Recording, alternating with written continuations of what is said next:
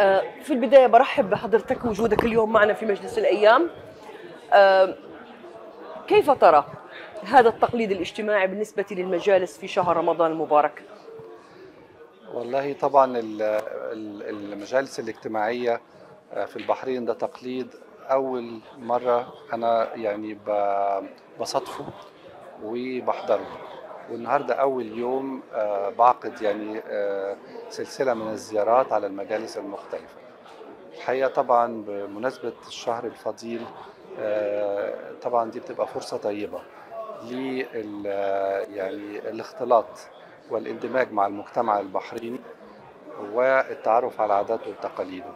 وبتبقى فرصة طيبة للتواصل مع الأشخاص من مختلف القطاعات الرسمية والشعبية وال يعني التعرف على عليهم وعلى التقاليد وطبعا بتبقى فرصة طيبة كمان إن آه، يبقى في آه، مسار غير رسمي للتعريف بالأمم المتحدة في المجتمع البحريني. كيف اليوم ترى التعاون بين بين مملكة البحرين وبين مكتب الأمم المتحدة؟ الحقيقة أنا صار لي 11 شهر من وقت ما جيت وفي طبعا اتفاقية إطارية هي اللي بت بتنظم العلاقة ما بين الأمم المتحدة والبحرين.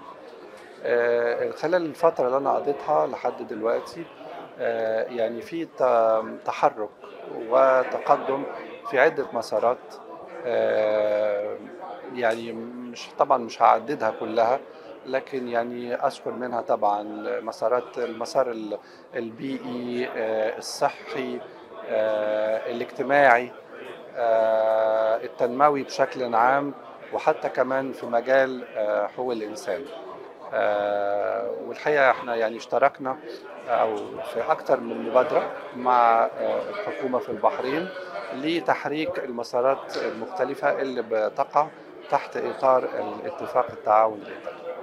أكيد خلال آه، 11 شهر اللي فاتوا آه، شهدت آه، حراك مجتمعي في البحرين. كان هناك استضافة للبرلمان الدولي وأيضا آه، تزامن ذلك مع سباقات 1 في البحرين. الكثير من الفعاليات كيف ترى هذا يعني المجتمع المتحرك خلينا نقول.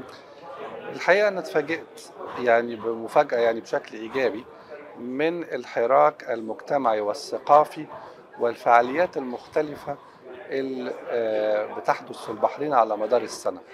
يعني صعب يعني الواحد لما يقول البحرين دولة آه، تعداد السكان واحد ونص مليون نصهم من الأجانب آه، ولكن لا يعني ال- ال- البحرين اللي بتقدمه أكتر بكتير من ال- ال- الصورة اللي هو الواحد لما ينظر يعني عليها في الخريطة من بعيد يعني لا يعني في في حاجات كتير بتتم آه، فعاليات زي ما تفضلتي وذكرتي الفورمولا 1 آه، وال ال- آه ال- كمان الفعاليات الثقافية آه، مركز الشيخ إبراهيم المركز آه، المؤتمرات آه، كمان في على المستوى الدبلوماسية المتعددة الأطراف حوار المنامة آه، يعني طبعا في حاجات كتير بتتم بتلفت النظر وبتخلي أي ضيف قاعد في البحرين دايما آه، يعني آه، عنده أجندة مليانة.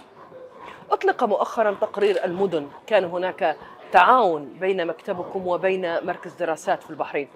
آه، كيف ترون هذا التقرير؟ أو الخطوة نحو هذا التقرير؟ آه، تقرير ال- المدن العربية اللي تم إطلاقه آه، يعني من فترة وجيزة بالتعاون مع مركز دراسات.